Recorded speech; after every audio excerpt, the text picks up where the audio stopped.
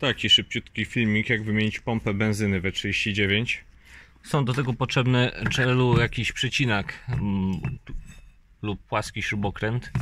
Pukamy to w to i wykręcamy. Wypinamy wtyczki, wypinamy te, boże jak z tego śmierdzi.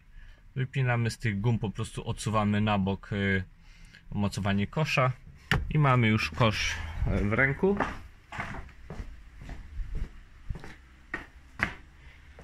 To jest kosz. Stąd jest bez problemu można usunąć dwie wtyczki i wężyk. Yy, opaskę jednorazowa, która była założona, warto kupić sobie wcześniej coś takiego sprężynowego i wystarcza.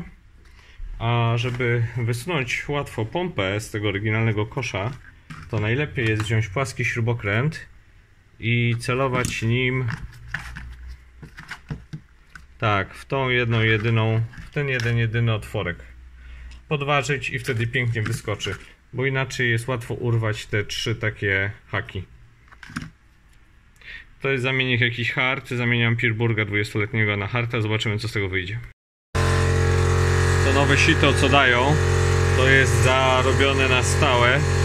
Nie bardzo mam ochotę się z tym ciąć i bawić, także przedmucham stare i założę. Tak chodzi zamiennicze harta. Słychać delikatny, wysoki pisk i pompowanie.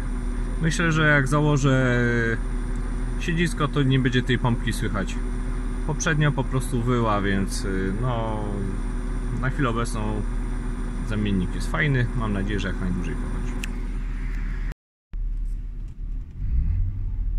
Z zewnątrz słychać taki bardzo wysoki piszczek, ale to jest z zewnątrz. Tu w środku po złożeniu e, pracę pompki idzie wychwycić, ale mam porównanie do innych BMek i teraz przede wszystkim to nie wyje, to po prostu pracuje i jest wszystko w porządku.